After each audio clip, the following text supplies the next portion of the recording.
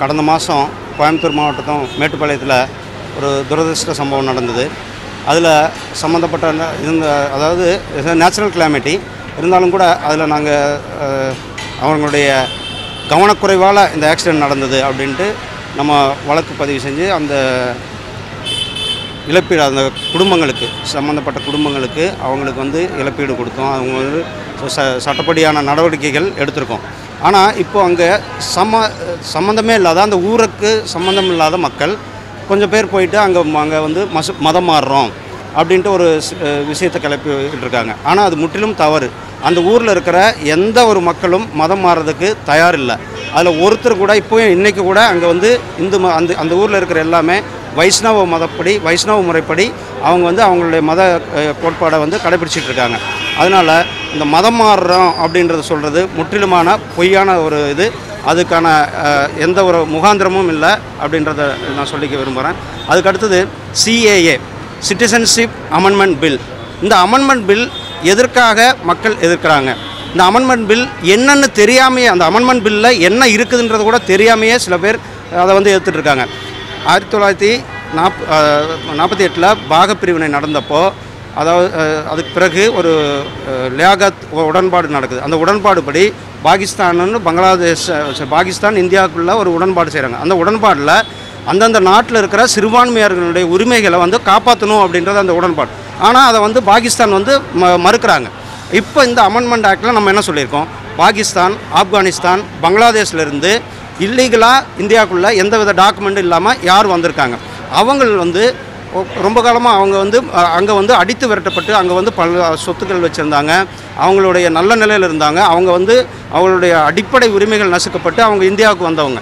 அவர்களுடைய கால காலத்துக்கு நம்ம அப்படியே வச்சுக்கிட்டு இருக்க முடியாது அவங்க. அவங்களுக்கு ஒரு நியாயமான ச- குடியுரிமை தரணுன்றதுக்காக தான் இந்த இது கொடுத்துருக்கோம். இதில் கிட்டத்தட்ட ராஜஸ்தான் குஜராத் வெஸ்ட் பெங்கால் இங்கிருந்து கிட்டத்தட்ட ஒரு அறுபத்தி எட்டு சதவீதமான மக்கள் வந்து பட்டியலினத்தை சார்ந்தவங்க. இங்கே தமிழ்நாட்டில் அந்த பற்றின ஒரு அடிப்படை விவரமே தெரியாமல் நம்ம இந்த பட்டியல் சமுதாயத்தை சார்ந்த தலைவர்களும் அந்த இயக்கத்தை சார்ந்தவர்களும் போராடிட்டு இருக்காங்க. தயவு செஞ்சு அவங்களுக்கு நான் சொல்கிறது அந்த சட்டத்தை வந்து படிங்க. சட்டத்தில் என்ன இருக்குது இதில் வந்து பட் பட்டியலின மக்களுக்கு பாதிக்கப்படுறாங்க. அந்த பட்டியலின மக்களுக்கான ஒரு பாதுகாப்பாக தான் இந்த சட்டம் இருக்குது ஒழிய அவர்களுக்கு எதிரானது இல்லைன்றதை அனைவரும் தெரிஞ்சுக்கணுன்றது தான் இந்த சென்னையில் இப்போ இன்னைக்கு சத்யா வாணி நகர் அதில் வந்து இந்த ப பட்டியலின மக்களை வந்து இது பண்ணி பெருகம்பாக்கம் ஹவுசிங் போர்டுக்கு மாற்றிருக்காங்க போலீஸார் வந்து அவங்க ரொம்ப சித்திரவதை பண்ணி அடித்து முகலாம் வீங்கியிருக்க அளவுக்கு மாறி இருக்கு. இது அதாவது சென்னையில் வந்து ஏற்கனவே நம்ம வந்து அனைவருக்கும் வீடு கட்டும் திட்டத்தில் எல்லாருக்குமே இப்போ குடிசை மாற்று விதி மூலிமா நிறைய வீடுகள் கட்டி கொடுத்துருக்கோம். அந்த வீடுகள் வந்து சில இடப்பற்றாக்குறை இருக்கிறதுனால சில இடங்களில் வந்து அவுட் சைடில் இப்போ விருகம்பாக்கம் தானே கட்டியிருக்காங்க. விரு விருகம்பாக்கம் சென்னை சிட்டிக்குள்ளே தான் இருக்குது அதாவது நீர்நிலைகளில் ஆக்கிரமிச்சிருந்தவங்க அவங்களுக்கு எல்லாருக்குமே மாற்று இடங்களில் குடிசை மாற்று விதி மூலம் வீடு கட்டுறாங்க. அது வீடுகள் வந்து வாலண்டரியாகவே எல்லாரும் போய் சேர்றாங்க. யார் ஒரு சிலர் வந்து வேணுன்றே சில ஃபண்டமெண்டலிஸ்ட்ஸ் வந்து அந்த மக்கள் மத்தியில் ஊடுருவி அவங்கள வந்து இன்டியூஸ் பண்ணிகிட்டு இருக்காங்கன்றது தான் நாங்கள் பல நான் சில இடங்களில் வந்து உள்ளே போ போயிருந்த ஆய்வு போயிருந்தப்போ நடந்தது.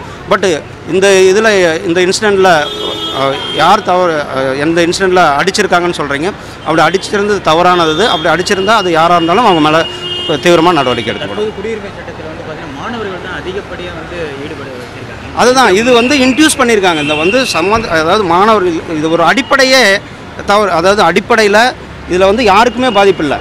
பாகிஸ்தானில் பங்களாதேஷில் ஆப்கானிஸ்தான்லேருந்து மைக்ரே அதாவது இல்லீகலாக எந்தவித டாக்குமெண்ட்டும் இல்லாமல் வந்திருக்கிறவங்க ரெண்டாயிரத்தி பதினாலுக்கு முன்னாடி டிசம்பர் முப்பதாம் தேதிக்கு முன்னாடி யார் யார் வந்திருக்காங்க? அவங்களுக்கு எல்லாமே எந்தவித டா ஏன்னா அவங்களே கஷ்டப்பட்டு வர்றாங்க. அவங்களுக்கு எந்த டாக்குமெண்ட்டும் அவங்க கையில் இருக்காது. அதனால் ஒரு அவங்க ஒரு அவங்களுடைய ஒரு டா அஃபிடேவிட் கொடுத்தா போதுன்றது தான் நம்ம சொல்லியிருக்கோம். அதை பேஸ் பண்ணி நம்ம சிட்டிசன்ஷிப் கொடுக்குறோம். இதில் வந்து யாருடைய பாதிப்பும் யாருக்கும் பாதிக்க போகிறது இல்லை. இப்போ பர்டிகுலராக சொன்னால் பட்டியலின மக்கள் பலனடைகிறாங்கன்றது தான் இது சொல்ல வரேன். தேங்க்யூ